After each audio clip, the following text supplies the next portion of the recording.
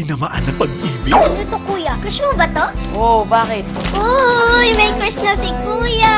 Hindi ko nga po alam kung paano ko siya lalapitan eh. Make some move! Nagpanggap siyang binabae para lang mapalapit dun sa babae.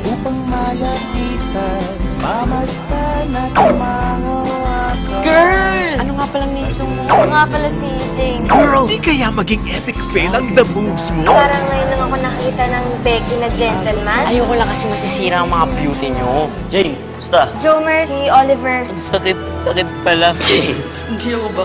Ah, Jane, please! Nagawa ko na naman yun na naman. Kita, Jane, please!